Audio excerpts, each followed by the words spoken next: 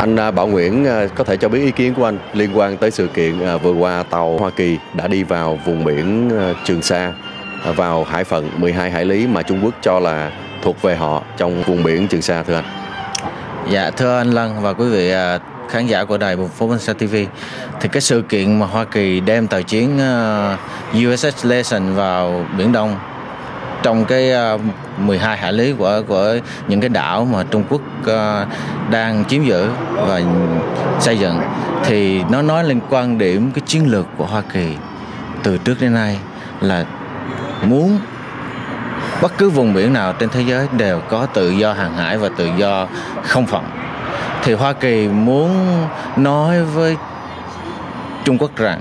quyền tự do đi lại và quyền thực thi các công ước quốc tế là chúng tôi luôn luôn uh, muốn thực thi điều đó thì cái chuyện đó là một vô hình chung là phủ nhận cái cái sự uh, uh, chủ quyền của Trung Quốc trên các hòn đảo họ đang đang xây dựng. Vừa qua phía Bộ Ngoại giao Việt Nam, người phát ngôn viên cũng đã có một số phát biểu liên quan tới à, à, ý kiến của Việt Nam về sự kiện này. Anh nghĩ sao về phát biểu của phía bên Bộ Ngoại giao Việt Nam qua người phát ngôn viên? Thật ra bên phía à, chính quyền Cộng sản Việt Nam họ im lặng ba ngày là có lý do đó là một sự im lặng khôn khéo, chứ không phải là giống như ờ, có nhiều người nói là họ tại sao lại im lặng. Bây giờ mình, giả sử nếu mà họ ủng hộ mỹ, họ không thể ủng hộ trung quốc. Nếu họ ủng hộ trung quốc thì phản đối mỹ thì tất nhiên họ họ sẽ công nhận cái chủ quyền của trung quốc trên các các đảo mà trung quốc đang xây dựng thì không thể được. Mà nếu mà họ ủng hộ mỹ cái chuyện như vậy thì giả sử sau này tàu chiến Mỹ mà đi trong vùng 12 hải lý của những cái đảo Việt Nam đang chiếm giữ, thì họ ủng hộ Mỹ hay sao? Nếu mà họ ủng hộ cái chuyện đó thì họ vô hình chung là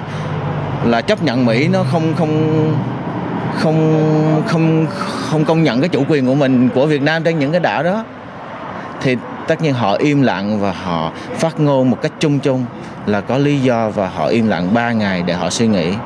Họ họ coi cái phản ứng của Trung Quốc như thế nào. Họ coi cái cái tình hình có có những cái, có những cái chiến sự hay là có những cái xung đột nặng xảy ra hay không. Thấy im lặng rồi thì họ mới có những phát biểu chung chung để gọi là trấn ân dư luận và trấn ân dân chúng Việt Nam. Thì đó là một cái cái cái phát biểu rất khôn khéo của họ với sự kiện này cũng như là với những tình hình trên biển Đông trong thời gian gần đây thì à, nhiều người cũng nói tới những giải pháp mà Việt Nam nên áp dụng. Theo anh nghĩ là Việt Nam nên ngã hẳn về một phía Trung Quốc hoặc Hoa Kỳ hay là một giải pháp nào khác thưa anh? Dạ, đối với Trung Quốc thì Việt Nam có tranh chấp quyền lợi trực tiếp với họ. Tranh chấp về biển đảo cho nên tất nhiên là mình luôn luôn là chống đối Trung Quốc trong cái chuyện mà tranh chấp biển Đông nhưng đối với Mỹ mình cũng không có thể nào người Việt uh, Việt Nam cũng không thể nào mà nghiêng hẳn về phía Mỹ. Tại vì chính Mỹ cũng chưa công nhận cái chủ quyền của Việt Nam trên uh, những cái quần đảo Hoàng Sa uh, Trường Sa. Do đó Việt Nam phải có những giải pháp mà khôn khéo và tận dụng tất cả những cái sự phức tạp với mối quan hệ ngoại giao giữa Mỹ và Trung Quốc để mình uh, có những cái uh, cái quyền lợi mà nó tốt nhất cho Việt Nam. Chỉ có vậy thôi. Và mình phải tận dụng cái sức mạnh của tất cả những người Việt trên toàn thế giới trong và ngoài nước vì cái quyền lợi biển đảo lãnh thổ là quyền lợi thiên liêng của dân tộc. Cho nên mình phải tận dụng